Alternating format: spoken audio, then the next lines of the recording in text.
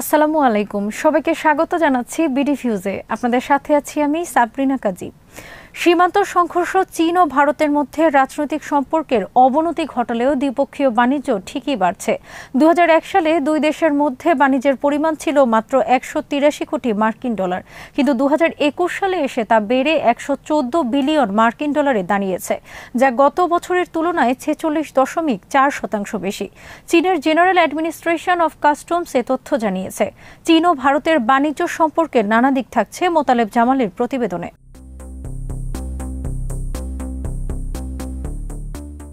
চীনের সিংহুয়া বিশ্ববিদ্যালয়ের national strategy ইনস্টিটিউটের গবেষণা বিভাগের পরিচালক কিন ফেং গ্লোবাল টাইমসকে বলেন, দুই দেশের ব্যবসায়ী ও উদ্যোক্তারা রাজনৈতিক বিবাদকে পাশ কাটিয়ে তাদের বাণিজ্যিক কর্মকাণ্ড অব্যাহত রেখেছেন। ফলে গত দুই দশকে বেড়েছে এশিয়ার দুই বৃহৎ অর্থনীতি দেশের মধ্যে বাণিজ্যের পরিমাণ। তিনি মনে করেন দু হাজার বিশ সালে চীন ভারত সীমান্ত সংঘাত যে দুই দেশের বাণিজ্যিক সম্পর্কে কোনো বিরূপ প্রভাব ফেলেনি তা পরিসংখ্যান থেকেই বোঝা যাচ্ছে।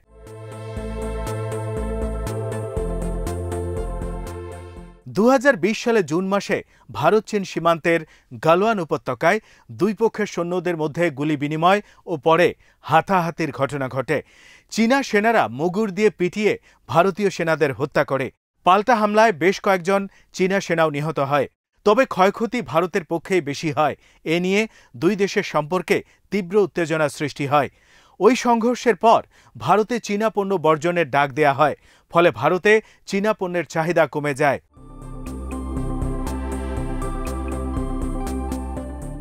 সম্প্রতি চীন অরুণাচল প্রদেশের পনেরোটি জায়গা নিজেদের মতো নামকরণ করেছে।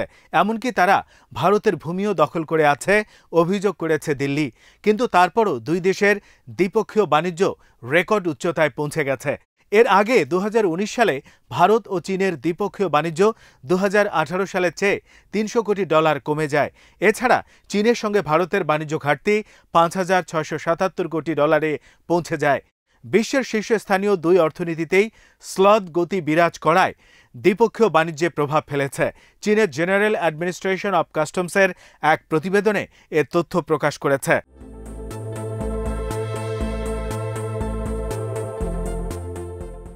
বিবৃতিতে বার্ষিক বাণিজ্য উপাত্ত প্রকাশের সময় জিএসসির উপমন্ত্রী ঝু ঝিউ জানান, ভারত ও চীনের দ্বিপক্ষীয় বাণিজ্য বছরওয়ারি এক দশমিক ষাট শতাংশ বেড়ে তেষট্টি হাজার নশো বান্ন কোটি ইউয়ান বা নয় হাজার দুশো আটষট্টি কোটি ডলারে দাঁড়িয়েছে।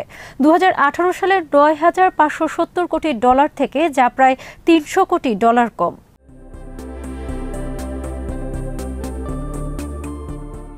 দু হাজার বিশ সালের সীমান্ত সংঘর্ষের পর নরেন্দ্র মোদী সরকার চীনের দুইশো ষাটটি অ্যাপ ভারতে নিষিদ্ধ ঘোষণা করে, যার মধ্যে জনপ্রিয় অ্যাপ টিকটক, সিএন ক্যাম স্ক্যানারও ছিল।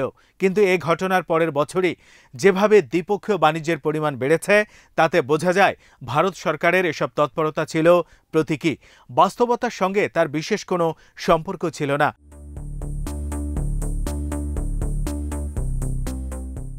বিশ্লেষকরা মনে করেন মোদীর মেক ইন ইন্ডিয়া প্রকল্প ব্যর্থ হয়েছে। এর আগে ভারতের মহাকাশ গবেষণা কেন্দ্র, ইন্ডিয়ান স্পেস রিসার্চ অর্গানাইজেশন বা ইসরো, চীনা স্মার্টফোন কোম্পানি অপর সঙ্গে তথ্য বিনিময় চুক্তি করে। স্বাভাবিকভাবেই ভারতে জাতীয়তাবাদী প্রতিক্রিয়া তৈরি হয়। অনেকে অভিযোগ করেন, এতে ভারতের জাতীয় নিরাপত্তা হুমকির মুখে পড়বে। ভারত ও চীনের দ্বিপক্ষীয় সম্পর্কে তিক্ততার বিষয় হিসেবে দাঁড়িয়েছে বাণিজ্য ঘাটতি।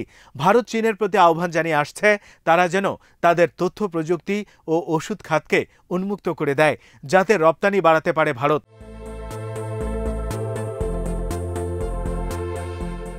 চীন ভারতের উদ্বেগের কথা আমলে নিচ্ছে বলে আশ্বাস দিয়েছে।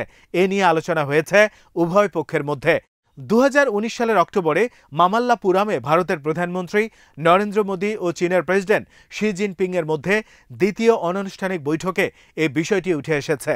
বাণিজ্য বিনিয়োগ ও সেবা খাত নিয়ে আলোচনায় ভারতের অর্থমন্ত্রী নির্মলা সীতারমন ও চীনের উপপ্রধানমন্ত্রী হু চুনার মধ্যে নতুন একটি প্রক্রিয়া নির্ধারণ করার ব্যাপারে ঐক্যমতে পৌঁছেছেন দুই নেতা।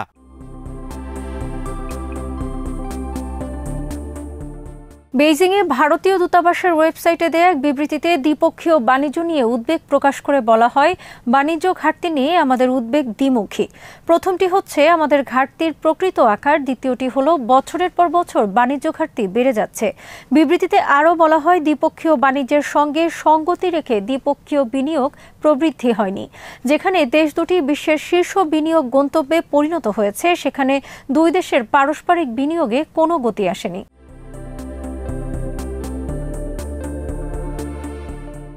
ভারত, চীন থেকে যে সকল পণ্য আমদানি করে, তার মধ্যে সবচেয়ে বেশি আসে টেলিকম যন্ত্রপাতি, কম্পিউটার হার্ডওয়্যার, ইলেকট্রনিক পার্টস ও অন্যান্য সামগ্রী, ওষুধ প্রস্তুত করার উপাদান। অন্যদিকে, ভারত থেকে চীনে যেসব পণ্য রপ্তানি করা হয়, তার মধ্যে আছে তুলার সুতা, লৌহ আকরিক, অর্গানিক কেমিক্যাল, মূল্যবান পাথর ও জুয়েলারি সামগ্রী উল্লেখযোগ্য।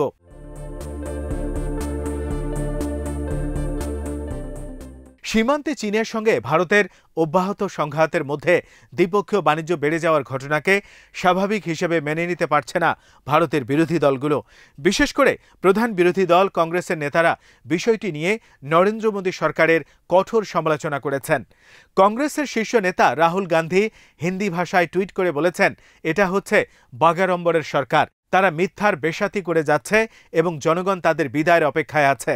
অনলাইনে বয়ে যাচ্ছে মোদী সরকারের বিরুদ্ধে সমালোচনা ঝড়। বিভিন্ন জন টুইট করে বলেছেন, কেন আমরা সীমান্তে আমাদের শত্রুকে শক্তিশালী করছি? কেন চীন থেকে আমদানি একেবারে কমিয়ে নেওয়া হচ্ছে না? আমরা আমাদের শত্রুকে খাইয়ে শক্তিশালী করে তুলেছি। সরকারকে অবশ্যই ব্যবস্থা নিতে হবে। আরেকজন তার টুইটে লিখেছেন, চীনের সাথে বাণিজ্য বন্ধ করলে আমাদের কি পরিমাণ ক্ষতি হবে?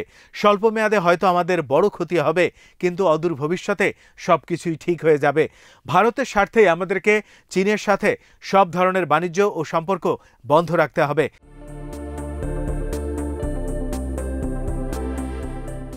ভারতের বিশিষ্ট চিন্তাবিদ, লেখক ও ব্রাহ্মচ্যালনীয় সরকারের বিরুদ্ধে চলমান এই টুইট যুদ্ধে যোগ দিয়েছেন।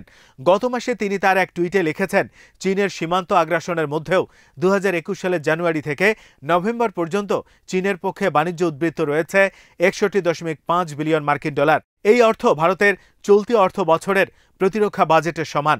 এরপরও নরেন্দ্র মোদীর সরকার চীনের সাথে দ্বিপক্ষীয় বাণিজ্য পঞ্চাশ শতাংশ বৃদ্ধিকে কীভাবে যৌক্তিক প্রমাণ করবে?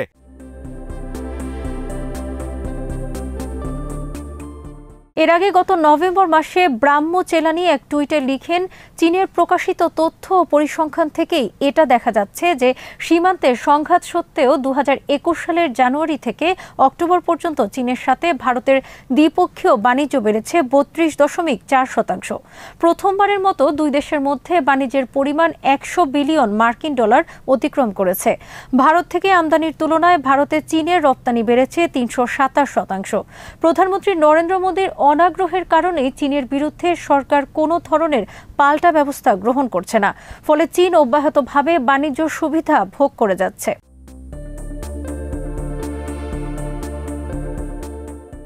ভারতের শিল্প ও বাণিজ্য মন্ত্রী পীযূষ গয়াল সম্প্রতি এক সংবাদ সম্মেলনে চীনের সাথে অস্বাভাবিক বাণিজ্য বৃদ্ধির অভিযোগ অস্বীকার করেছেন। তিনি বলেন, চীনের সাথে ভারতের বাণিজ্য ঘাটতি কমে আসছে। তিনি তথ্য তুলে ধরে বলেন দু হাজার তেরো চোদ্দ সালে বাণিজ্য ঘাটতি ছিল আটচল্লিশ বিলিয়ন মার্কিন ডলার। দু সালে তা এসে কমে চুয়াল্লিশ বিলিয়ন ডলার হয়েছে। তিনি বলেন, কংগ্রেসের নেতৃত্বাধীন ইউপিএ সরকারের আমলে দু হাজার সাল থেকে দু হাজার চোদ্দ পনেরো সালের মধ্যে চীন থেকে ভারতের আমদানি বেড়েছিল এক হাজার একশো ষাট শতাংশ। কিন্তু নরেন্দ্র মোদী সরকারের আমলে দু হাজার চোদ্দ থেকে পনেরো সাল থেকে শুরু করে দু হাজার সালের মধ্যে তা আট শতাংশে নামিয়ে আনা হয়।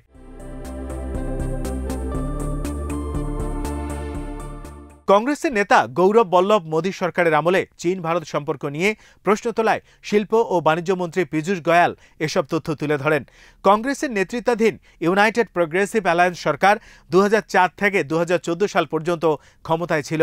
গৌরব বল্লভ এক বিবৃতিতে বলেন, মোদী সরকারের আমলে চীন, অরুণাচলে ভারতের নব্বই হাজার বর্গ কিলোমিটার এলাকা নিজেদের বলে দাবি করছে। সেখানকার পনেরোটি স্থানের নাম পরিবর্তন করে নতুন নাম দিয়েছে। এর পাল্টা ব্যবস্থা হিসেবে মোদী সরকার ভারতে চীনের কিছু অ্যাপ নিষিদ্ধ করেছে। এটাই কি যথেষ্ট? মোদী সরকারের চীনের সাথে ভারতের জাতীয় স্বার্থ, নিরাপত্তা ও ভৌগোলিক অখণ্ডতার ব্যাপারে ক্ষমার অযোগ্য আপোষ করেছে বলেও অভিযোগ করেন এই কংগ্রেস নেতা।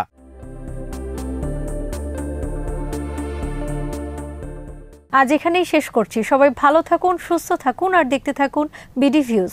চ্যানেলটি ভালো লাগলে সাবস্ক্রাইব করুন। সংযুক্ত থাকুন আমাদের ফেসবুক পেজে আল্লাহ হাফেজ।